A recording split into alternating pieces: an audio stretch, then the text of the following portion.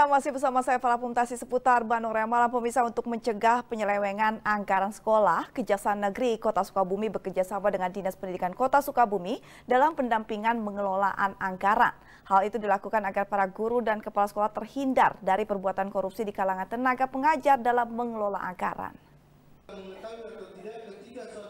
Ratusan kepala sekolah dan guru SD dan SMP di kota Sukabumi mengikuti kegiatan pencegahan korupsi anggaran sekolah.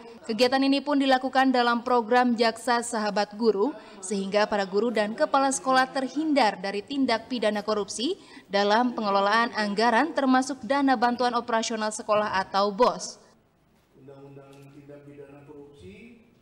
Kabid Diknas Dinas P dan K Kota Sukabumi, Dik Dik Firmansyah mengungkapkan kegiatan ini dilakukan agar para penyelenggara sekolah tahu dan mengerti bagaimana cara mengelola dana sekolah.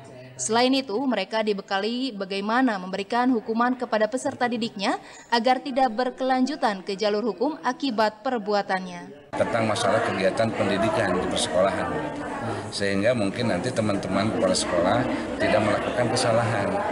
Kalaupun ada nanti umpamanya kesalahan tindakan mungkin bisa berkonsultasi dengan bantuan hukum di kejaksaan dan kepolisian. Mudah-mudahan tidak terjadi apa-apa. Harapan kami mudah-mudahan dengan sosialisasi ini banyak nilai yang bisa dipetik. Jadi kami mungkin lebih ada pencerahan. Sementara itu, Kepala Kejaksaan Negeri Kota Sukabumi, Geno Razarina, mengatakan dengan adanya kegiatan ini, diharapkan para guru tidak takut saat berurusan dengan hukum, serta mampu mencegah tindakan melawan hukum. Agar pelaksana melaksanakan dukungan pemerintah di lingkungan pendidikan.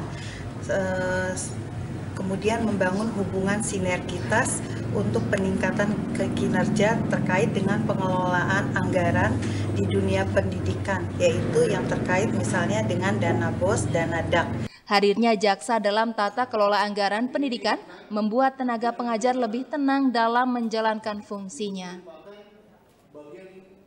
Budi Setiawan, Bandung TV